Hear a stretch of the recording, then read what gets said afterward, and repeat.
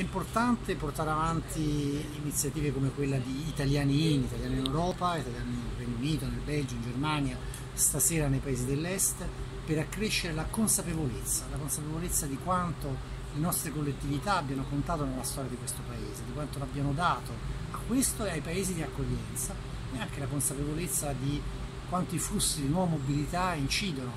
sono importanti perché arricchiscono culturalmente, professionalmente tanti nostri ragazzi, però al tempo stesso impoveriscono in qualche modo il nostro paese, quindi bisogna attivare circuiti di migrazione, non si può andare solo all'estero senza tornare, bisogna incentivarli a rivenire in Italia, a reinvestire in Italia quello che hanno appreso una volta all'estero. Quindi la consapevolezza come chiave di questo processo.